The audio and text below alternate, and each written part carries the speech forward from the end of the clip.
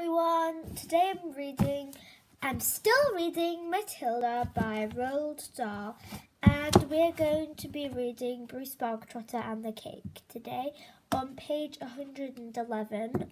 Um, yeah, so I've been reading this for about, I don't know, three days, three or four days, um, and I just wanted to ask if you guys enjoyed it or not because um, also, if you've already read Matilda or if you don't really enjoy reading it, um, put in the comments down below if you have any tips or whatever. But what other books I can read or tips how I can, you know, yeah, just tips of what I could, what books I could read later on and things like that. And I have actually been reading Letters from the Lighthouse by Emma Carroll, and maybe we'll do that book next. So, yeah. Anyways, so this book is so we're going to start chapter chapter, no chapter what, uh, just a chapter. It's called Bruce Bogtrotter and the Cake on page 111. And yeah, let's start. How could she get away with it? Lavender said to Matilda. Surely the children go home and tell their mothers and fathers. I know my father would raise a terrific stink if I told him the headmistress had grabbed me by the hair and slung me over the playground fence. No, he wouldn't, Matilda said. And I'll tell you why. He simply wouldn't believe you. Of course he would. He wouldn't, Matilda said. And the reason is obvious. Your story would sound too ridiculous to be believed. And that is the Trunchbull's great secret. So what that says? And that is the Trunchbull's great secret. So what is the Trunchbull's great secret? Put in the comments down below what the Trunchbull's great secret is. What the Trunchbull's great secret is. What is? What is Lavender asked. Matilda said, Never do anything by halves if you want to get away with it. Be outrageous. Go the whole hog. Make sure everything you do is so completely crazy. It's unbelievable. No parent is going to believe this pigtail story, not in a million years. Mine wouldn't. They'd call me a liar. So that's what. So Matilda's saying that uh, the Trunchbull's um, trick is to get things so unbelievably outrageous. So if any kids go tell the parents, for example, they go say, I got thrown out the window this morning. What would the parents say? What would your parents think? If you were if you were a child's parent and your child came up to you and said, My headmistress threw me out the window today, um, would you believe her? I wouldn't, because obviously I would have thought that if you got thrown out the window, you would not be standing there next to me telling me that that happened. So I would not believe it. But who knows? I don't think they actually know that the Trunchbull is that bad. But even if they believed it, it would be no use because they would have nothing to like go against the Trunchbull because it's a Trunchbull. Like it's not normal headmistress, not like your normal great lovely headmistress. In that case, Lavender said, Amanda's mother isn't going to cut her pigtails off. No, she isn't, Matilda said. Amanda will do it herself. You see if she doesn't. Do you think she's mad? So, who do you think she is? She's you. Well, Dahl's used she twice. How can she get away with it? Do you think she's mad? Who do you think the she is? Who? The Trunchbull. The Trunchbull is the she. The she. No, I don't think she's mad, Matilda said, but she's very dangerous. Being in this school is like being in a cage with a cobra. You have to be very fast on your feet. And they got another example of how dangerous the headmistress would be on the very next day. During lunch, an announcement was made that the whole school should go into the assembly hall and be seated as soon as the meal was over. When all the 250 or so boys and girls were settled down in the assembly, the Trunchbull marched onto the platform. None of the other teachers came in with her. She was carrying a riding crop in her right hand. She stood up there on the centre stage in her green breeches with legs apart and riding crop in one hand. Now, what's a riding crop? Do any of you guys know what a riding crop is? So I'm going to search that word up later and yeah, and I said yesterday I would try to find uh, a of the chapter so you guys could get the words down too. I've not been able to find anything, which is really annoying. So I'll try to find something tomorrow. Or if you guys want to actually really want to find the words or something, you can go them up. on your own, one on your own too. But yeah, anyways, I'm gonna carry on reading. Okay, she stood up there on the centre stage in her green breeches with legs apart and riding crop in one hand, glaring at the sea of the upturned faces before her. What's gonna happen? Lavender whispered. I don't know, Matilda whispered back. The whole school waited for what was coming next. Bruce Bogtrotter, the principal barked suddenly. Where is Bruce Bogtrotter? A hand shot up among the seated children. Come up here, Principal shouted, and look smart about it. An eleven-year-old boy who was decidedly large and round stood up and waddled briskly forwards. He climbed up onto the platform. Stand over there, the principal ordered, pointing. The, po pointing. The boy stood to one side. He looked nervous. He knew very well he wasn't up there to be presented with a prize. He was watching the headmistress with an exceedingly wary eye, spelled W-A-R-Y. A wary eye, and kept edging further and further away from her with little shuffles of his feet rather than rather as a mouse rat might edge away from a terrier that is watching it from across the room. His plump, flabby face had turned grey. In apprehension, his stockings hung about his ankles. This clot! boomed the headmistress, pointing the riding crop at him like a rapier. Sorry, guys, I'm really you know I'm going to read this whole bit out because this is a very, like, very powerful speech of a headmistress. And then I'll write my words down. This clot, boomed the headmistress, pointing the violin like a rapier. This blackhead, this foul carbuncle, this poisonous pistol that you see before you is none other than a disgusting criminal, a den denizen of the underworld, the member of the mafia. You see, she's being very rude here. I don't really like how she like is pointing the riding crop at him and then saying all these really bad words at him. Full carbuncle. I like the word carbuncle for some reason. His, this blackhead, this poison pustule, disgusting criminal, denizen of the underworld, member of the mafia. I do not like the sound of how she, she's like describing him.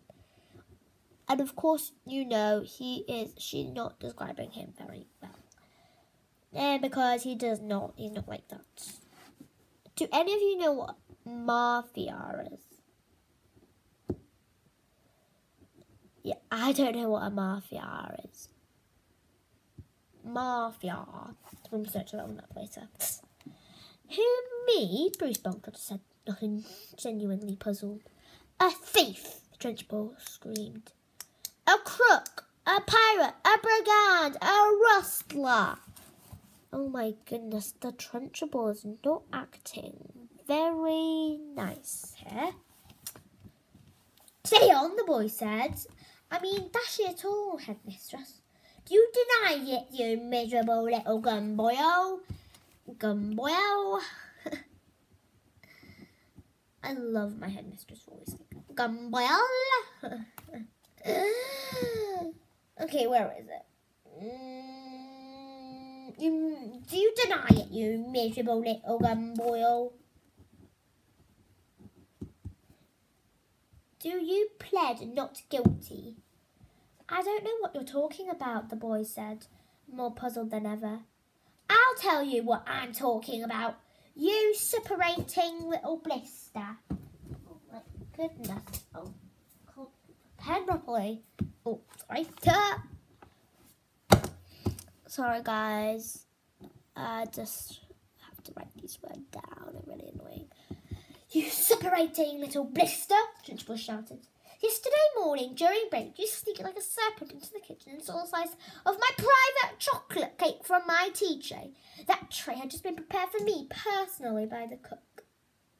It was my own morning snack, and as for the cake, it was my own private stock. That was not a boy's cake. You don't think for one minute I'm going to eat the filth I gave you?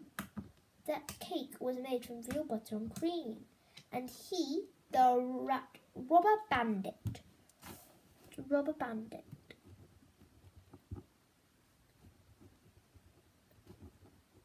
Sorry, guys. That's safe cracker. That's highwayman. Stand. Oh my god, this is so annoying. I have to write all these words down because I have to keep pausing. Ah, highwayman standing over there with his socks on his ankles, stole it and ate it all. I never did, the boy exclaimed, turning from grey to white. Don't lie to me, bog trotter, barked the Trunchbull. The cook saw you, and what's more, he saw you eating it. The Trunchbull paused to wipe a fleck of froth from her lips. Oh my, did you see how evil the Trunchbull is? She's all day, every day, going like, you can't do that, you can't do this, why you do that, why you do this, eh? Mm. Not the best teacher. I would not want a headmistress like that. No. When she spoke again, her voice was suddenly softer, quieter, more friendly, and she leaned towards the boy, smiling. You like my special chocolate cake, don't you, Bog Trotter? It's rich and delicious, isn't it, Bog Trotter?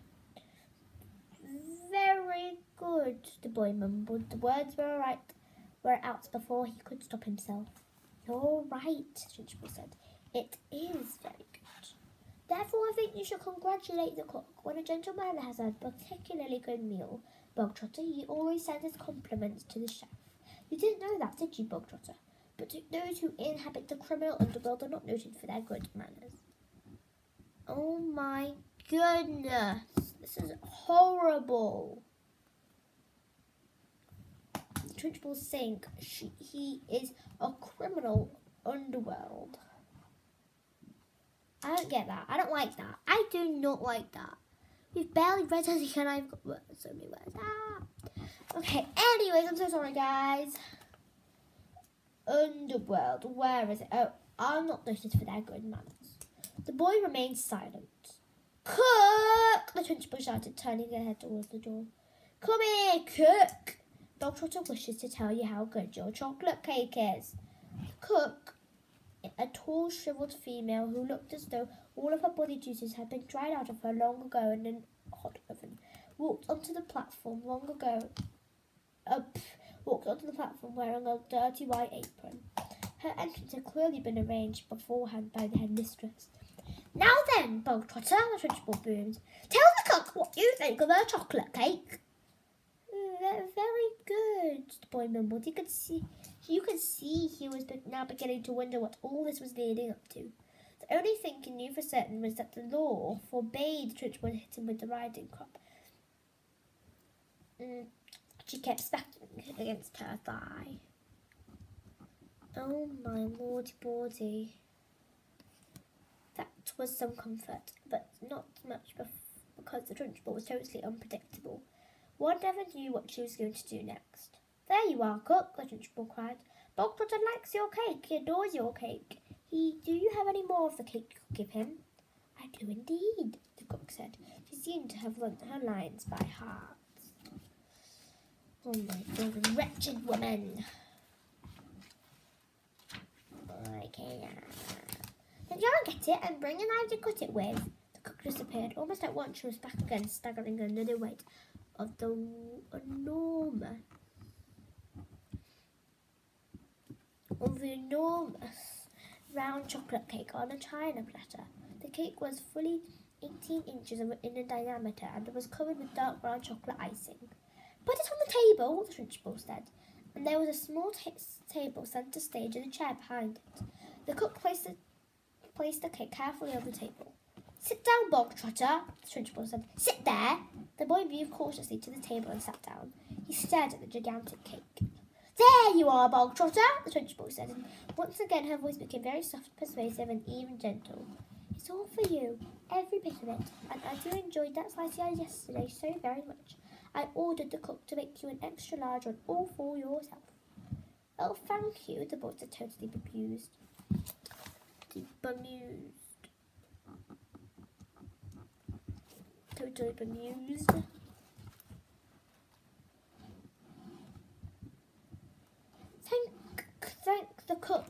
me, the Trunchbull said.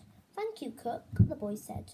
The cook stood there like a shriveled bootlace.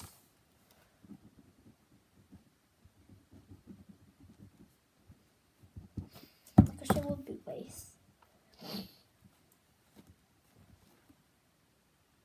Tight-lipped, implacable, disapproving.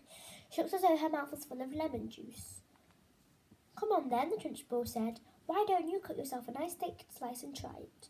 What now? The boy said, cautious. He knew there was a catch in there somewhere, but he wasn't sure where. Can't I take it home instead? he asked. That would be impolite, the Trunchbull said, with a crafty grin. Do you miss Joe Cookie here? How grateful you are for all the trouble she's taken.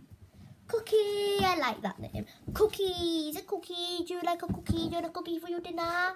I like that, Cookie. The boy didn't move. Go on, get on with it, Trunchbull said. Get us, get us, get us slice and taste it. You haven't got all day. The boy picked up the knife and was about to cook the cake and then he stopped. He stared at the cake. Then he looked up at the Trunchbull. Then at all the stringy, then at the stringy cook with her lemon juice mouth. Stringy cook with her lemon juice mouth. All the children in the hall were watching intensely, waiting for something to happen. They felt certain it must. The Trunchbull wasn't a person would give someone a whole chocolate cake to eat just out of kindness. Many were getting their been filled with pepper or castor oil or some other foul-tasting substance which, which would make the boy violently sick. It might even be arsenic, and he would be dead in ten seconds flat. I do not want to be dead in ten seconds flat. I don't want to be dead in ten seconds flat. Or perhaps it was booby trap cake and the whole thing would just blow up the moment it was cooked, It's cut, taking Bruce Bogtrotter with it. I've got a way you can do that. You get a balloon, so you don't, it's not even going to be a cake. You just get a balloon, so, and then you're going to cover it with cream and make it look like it's just like a normal cake. Then spread the cream all on it. And once, once someone gets a knife to cut it, it goes boom, all the cream and everything just... Just be whipped cream actually, just put whipped cream there. No one in the school put the past put it past the Trunchbull to do any of these things. I don't want to eat it, the boy said. Tasty little brat, Trunchbull said. You're insulting the cook. Very gingerly, the boy began to cut a slice of the vast cake. Then he levered the slice out. Then he put down the knife and took the sticky thing in his fingers and started very slowly to eat it. It's good, isn't it? Trunchbull asked. Very good, the boy said, chewing and swallowing. He finished the slice. Have another, Trunchbull said. That's enough, thank you, the boy murmured. I said have another, Trunchbull said. And now there was altogether a sharp edge to her voice. Eat another slice and do as you are told. I don't want another slice, the boy said. Suddenly Trunchbull exploded. Eat! she shouted, banging her thigh with a rising club.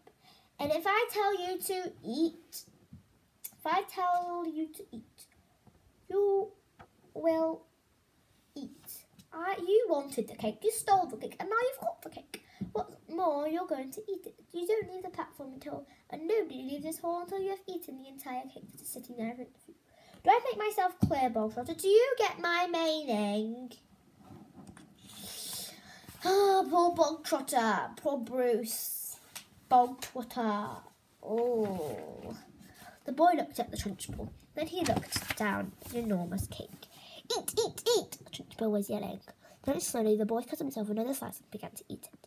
Matilda was fascinated. Do you think he can do it? She whispered to Lavender. No, Lavender whispered back. It's impossible. He'd be sick before he's halfway through. The boy kept going. When he had finished the second slice, he looked at the Trunchbull, hesitating. Eight! she shouted. Greedy as these who like to eat cake must have cake. Eat faster, boy, eat faster. We don't want to be here all day, and don't stop like you're doing now. Next time you stop before it's all finished, you go straight to the Chokey now, he'll lock the door and throw the key down the well. The boy cut the third slice and started to eat. He finished this one quicker than the other two, and when and when that was done, he immediately picked up the knife and cut the next slice. In some peculiar way, he seemed to be getting into his stride. Matilda watched closely, saw no signs of distress in the boy yet. If anything, he seemed to be gathering confidence as he went along. He's doing well, she whispered to Lavender. He'll be sick soon, Lavender whispered back. It's going to be horrid.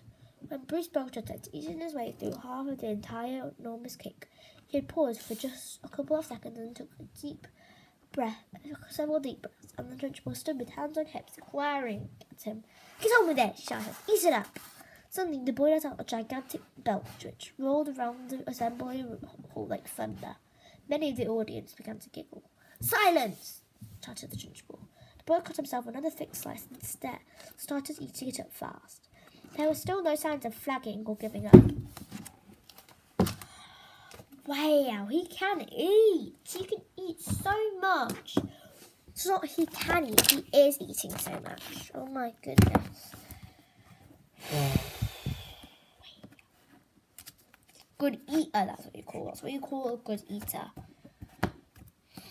Real good eater.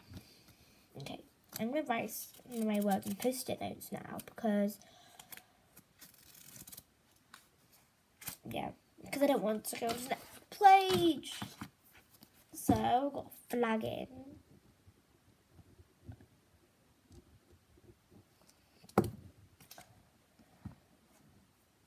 He certainly did not look as though he was about to stop and cry out, I can't, I can't, I can't eat any more. I'm going to be sick. He was still in the running. And now a subtle change was coming over the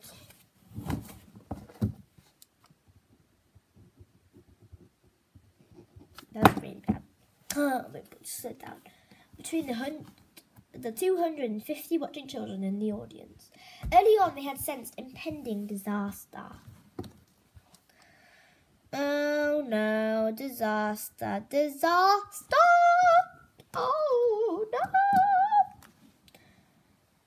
They had to prepare, themselves for an unpleasant scene which the wretched boy stuffed to the gills with chocolate cake. I really would not want to be Bruce Bogtrotter because you would be stuffed to the gills with chocolate cake. Like, oh, I don't want to be Bruce Trotter. Stuffed to the gills with chocolate cake and would have to surrender and beg for mercy. Then he would have to, he would, ha, we would have, they would have watched triumphant Trunchbull forcing more and still more of cake into the mouth of the gasping boy. Not a bit of it. Bruce Bogtrotter was, was three quarters of, of the way through and was still going strong. One since that he was almost beginning to enjoy himself. He had a mountain to climb and he was jolly well going to reach the top or die in the attempt. What is more, he had now become very conscious of the audience, who was silently rooting for him. Okay, so well done, Bogtrotter. He's eating a lot of cake today. I don't think his parents would be very happy.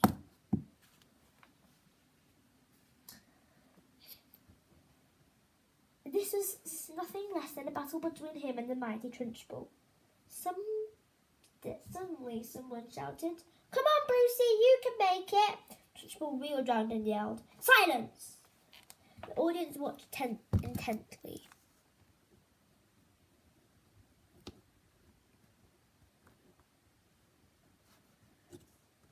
Ugh. Ugh. I'd be so sick after eating so much cake.